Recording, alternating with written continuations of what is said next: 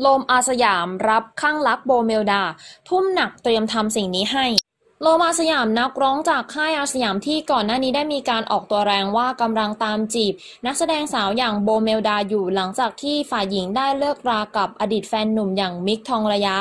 ไปถึงขั้นแต่งเพลงในฝ่ายหญิงเลยทีเดียว ได้ออกมาให้สัมภาษณ์กับสื่ออย่างเป็นทางการครั้งแรกถึงประเด็นดังกล่าวนักข่าวก็ได้การสัมภาษณ์ถึงความรู้สึกของโรมหลังจากที่โบได้มีโอกาสฟังเพลงที่